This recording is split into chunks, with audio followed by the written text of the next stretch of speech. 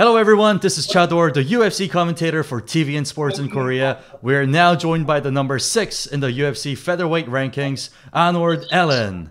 Hello sir, thanks for doing this interview. No problem, thanks for having me. So, how are you? How's your preparation going for your fight this weekend? Yeah, I'm very good. I feel great. Um, my body feels good. Training's been good, so I'm very happy. And now, many fans believe that you will have a shot at the featherweight title if you win your next fight against Calvin Kattar. What are your thoughts on this? Yeah, it's um, yeah, it's very possible, but um, you know, I'm, I'm just focused on the task at hand, and uh, you know, I have a very tough opponent, very dangerous opponent. So yeah, I'm, I'm not looking past it. Oh, it's very humble. Now, your professional record is truly astonishing. Currently on uh, 18 and 1, and you're on a 11 win streak. Many fans were especially yes. impressed with your last performance, a spectacular win against Dan Hooker.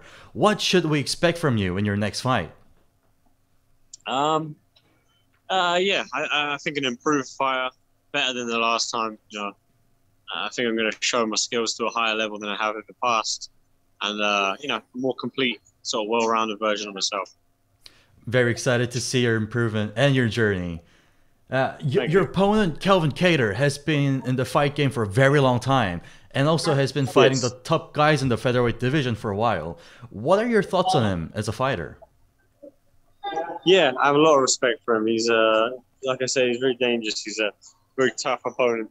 There's no um, there's no quit in him. You know, even when he's losing, he's looking for a way to, to finish the fight and get the win. So I have a lot of respect for him. But um, yeah, uh, yeah, he's a very dangerous guy. And without revealing too much of your game plan, how are you going to approach this fight? Um, like I said, just with my, my well-roundedness, you know, I, I think I show some skills in all areas and show the improvements I've made. And uh, yeah, I'm sure I can outskill him. Sounds good. Now, finally, any words for the Korean fans who will be rooting for you this weekend? Yeah, thanks for the support, guys. Really appreciate it. Thanks for watching. Thank you. Thanks for your time, sir. Arnold, Allen, everyone. Thank you so much. Cheers. Have a good day.